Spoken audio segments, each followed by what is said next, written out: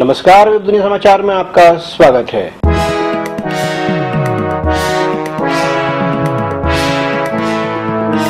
नोटबंदी पर संसद में हंगामा जारी, मनमोहन ने कहा, तरीका गलत। मोदी सरकार के नोटबंदी के फैसले को लेकर संसद के दोनों सदनों में हंगामा थमने का नाम नहीं ले रहा पूर्व प्रधानमंत्री मनमोहन सिंह ने सरकार के नोटबंदी के निर्णय को लागू करने के तरीके को पूरी तरह विफल करार देते हुए राज्यसभा में कहा कि इसके कारण देश भर में जमकर संगठित और कानूनी लूटमार हुई तथा आम आदमी को भारी परेशानियों का सामना करना पड़ा है। प्रधानमंत्री नरेंद्र मोदी के सदन में आने से नोटबंदी पर चर्चा को लेकर सत्ता पक्ष और विपक्ष के बीच पिछले छह दिनों से चला आ रहा गतिरोध दूर हुआ। चर्चा शुरू करते हुए सिंह ने कहा कि वह खुद और कांग्रेस पार्टी काले धन तथा भ्रष्टाचार पर लगाम लगाने के लिए नोटबंदी के विरोध में नहीं है। इससे लोगों को हो रही परेशानियों को दूर करने के लिए प्रधानमंत्री को रचनात्मक और व्यावहारिक उपायों की घोषणा करनी चाहिए। मनमोहन ने कहा कि प्रधानमंत्री ने दलील दी है कि यह कदम काले धन पर अंकुश लगाने तथा आतंकवादियों को हो रही फंडिंग रोकने के लिए उठाया गया है।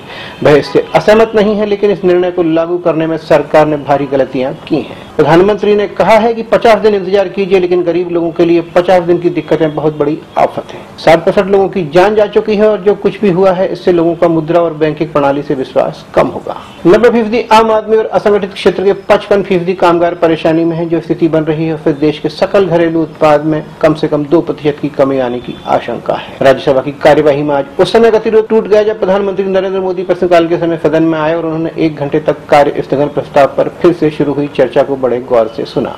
वह बीच बीच में मुस्कुराते भी रहे। भोजनावकाश के लिए जब सदन की कार्यवाही स्थगित हुई तो उन्होंने पूर्व प्रधानमंत्री मनमोहन सिंह, सदन में विपक्ष के नेता गुलाम नबी आज़ाद समेत सभी प्रमुख विपक्षी नेताओं के पास जाकर उसे हाथ भी मिलाया। भोजन अवकाश के बाद सदन की कार्यवाही शुरू होने पर बसपा अध्यक्ष सुश्री मायावती ने कहा कि नोटबंदी का मुद्दा महत्वपूर्ण है और लोग इससे बुरी तरह से प्रभावित हो रहे हैं।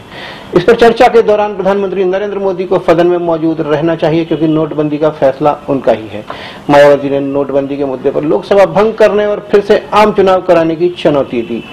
भोजन अवकाश के बाद फिर विपक्ष प्रधानमंत्री की सदन में मौजूदगी की मांग को लेकर अड़ गया और कार्यवाही तीन बजे तक स्थगित करनी पड़ी, जो बाद में पूरे दिन के लिए स्थगित हो गई। उधर लोकसभा में लगातार छठे दिन भी कोई विधायी कार्य नहीं हो सका और सदन की कार्यवाही दिन भर के लिए स्थगित करनी पड़ी।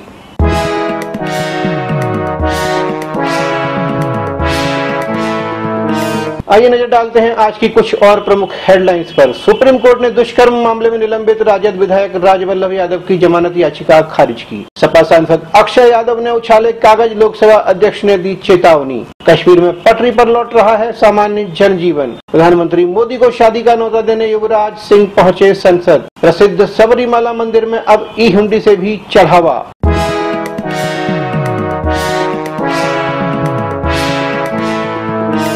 ये थे अब तक के मुख्य समाचार। और ज़्यादा जानकारी के लिए लॉग इन कीजिए हमारी वेबसाइट डब्ल्यू नमस्कार।